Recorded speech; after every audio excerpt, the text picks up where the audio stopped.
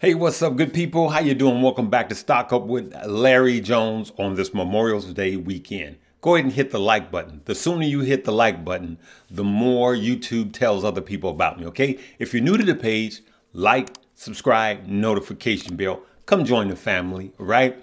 And um, we're going to talk about money. We're going to talk about how we could change your mind that will change your pocket, okay? We want to get into that really quick. But before that, on yesterday's video, I talked about an important announcement that I have to make. And in this 15 second video, let's hear what the announcement is. New York, New York, mark your calendars. New York, New York, June 7th at 6 p.m. We are coming to your town to meet and greet you. Who is the we? We are the core four. We got Stock Moe. We got Kenan Grace. We got Stocks with Josh and myself. We are coming to New York simply to meet and greet you, okay? We're gonna have giveaways that night, and everything is sponsored by Moo We're gonna have a great time just meeting and greeting you. If you wanna see us do what we do live together, the Core 4, we will be doing it that night. Tickets are limited, so make sure you click the link below for further details. We'll see you there. It's absolutely free. Free, free, free. We're going to have some music playing, um, uh, some drinks, and uh, we're going to. I don't drink alcohol, me personally. Y'all can do what y'all want to do. But we just want to rub el- elbows with you guys. So if you're in the New York area, make sure let's let's let's pack the place out. And if that's successful, we will consider doing some more cities. Okay. Uh, let's get right into what I want to talk about. Um, and on this Memorial Day weekend, God bless you if you serve this country as we remember those who have served this country and paid the ultimate price. All of the armed forces, all of the frontline workers. We honor you on this Memorial Day weekend. God bless you. Hey, let's talk about mindset and money, okay? Now, there is a uh, article that's been out for a while now, and a lot of people say that this is not true, right? And and there's a lot of argument back and forth. But I will tell you that the principle of this is true.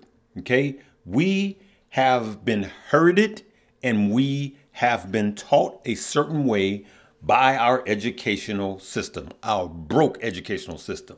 Uh, the modern day education system was designed to teach future factory workers to be punctual, docile, and sober. Okay?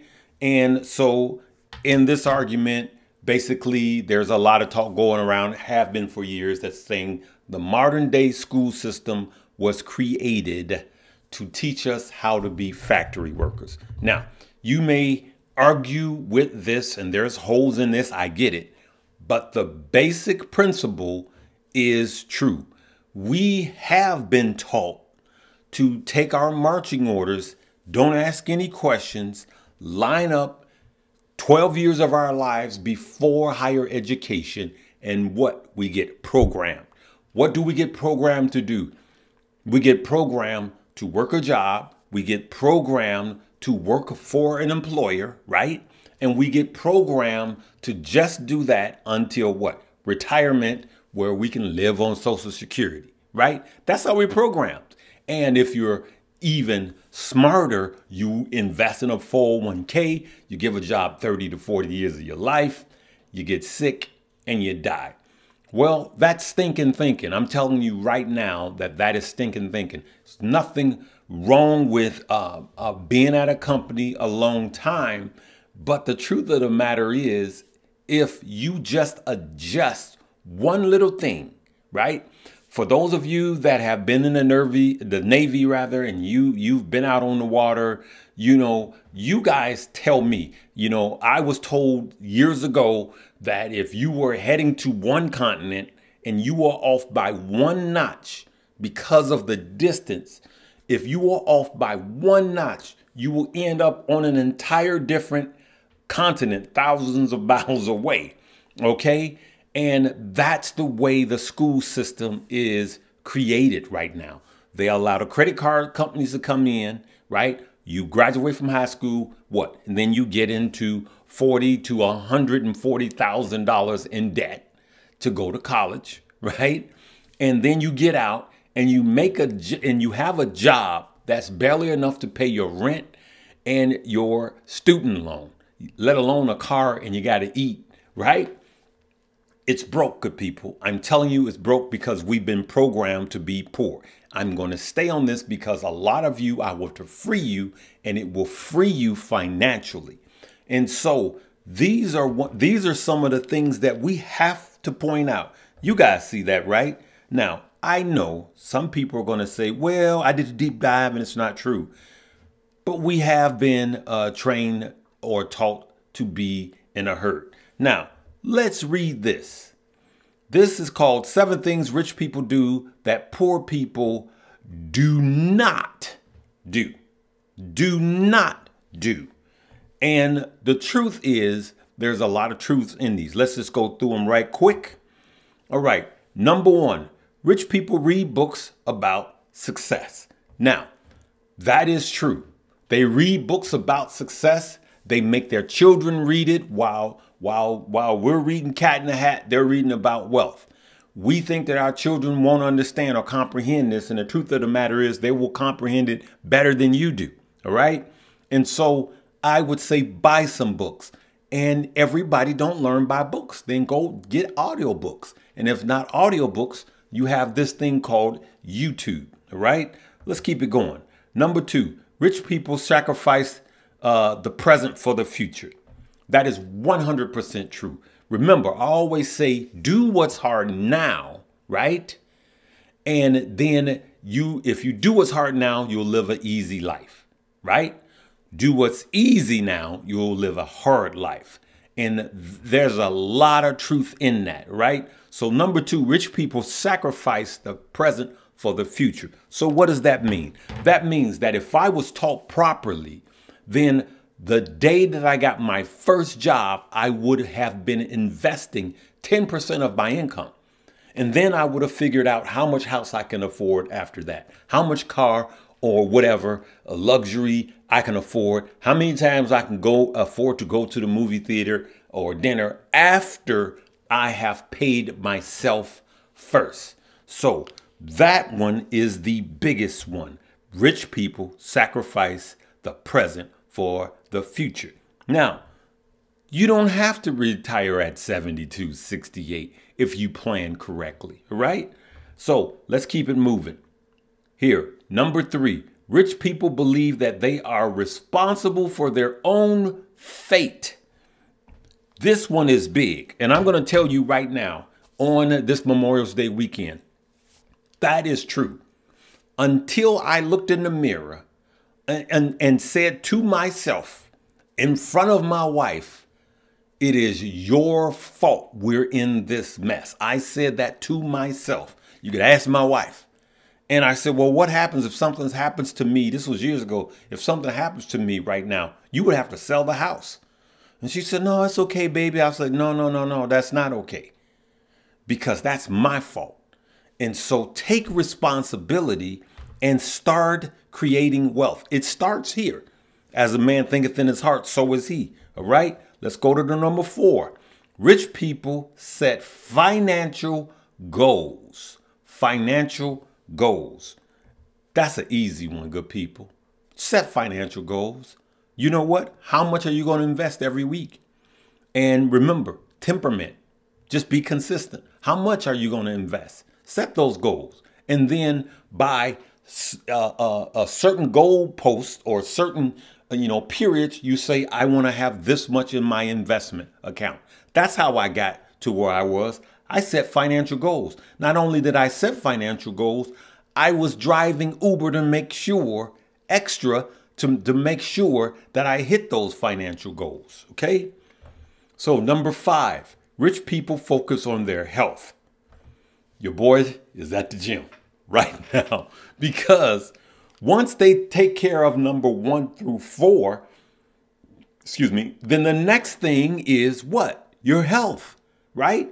What good is it to gain this to gain all of this wealth and you're not healthy enough to enjoy it, You're not healthy enough to walk on a beach or to get on the airplane to actually enjoy it. So that is true too. Concentrate on your health, right? Money can't buy you health. Money can't buy you love either, but um, it can buy you somebody who, who say they love you. All right. I'm sorry. Rich people spend their time with successful people. That is a huge one. I say this, and you can write this down and take it to the bank. People are put into your life for a time, a season, a purpose, and a reason. Time, season, purpose, reason. And everybody is not created to go on this journey with you. Most of you that are listening to me have someone that you need to get rid of. They are holding you down. They are dead weight. You need to treat them like the plague. They're always telling you what you cannot do. Remember, never share a big dream with a small minded person. Okay? Remember that. Rich people. And, and on top of that, get on trains, planes, and automobiles and go sit with successful people. Successful people don't like it when you ask them for money, but they do like it when you ask them for information.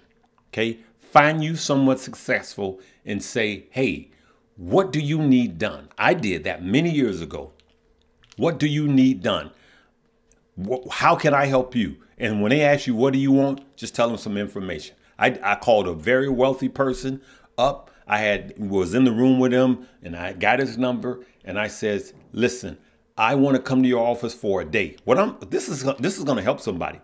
And he says, Well, what can I do for you, Mr. Jones? I says, Absolutely nothing. You can't pay me. I just want to hang around you and gain some knowledge. And he was taken away. All right. And so I'm telling you guys that this really do work. All right. Rich people use their credit uh, wisely. That's a huge one. Now I have A1 credit. I'm not co-signing for nobody. I got two beautiful daughters. I love them to death. I'll stand in front of a train. I'll pull Superman's cape. I'll, I'll, I'll bite King Kong's toe for my daughters. They better not get in the water because the brother can't swim. They don't, I told them, get in the water, you on your own. But I, I told them, I, I won't credit, I, I won't sign for you. I won't co-sign for you. Now, some of you guys are going to say, oh, that's, that's wrong. No, it's not. I'm, you know, my credit was toe up from the floor up for many, many years. And when I got my credit to where it is right now, there's nothing, I'm, I'm not putting that at risk anymore because me having good credit is going to help my kids. It's going to help me to leave them inheritance, an inheritance. So leverage, leverage your credit, okay? Leverage your credit and use it wisely, okay?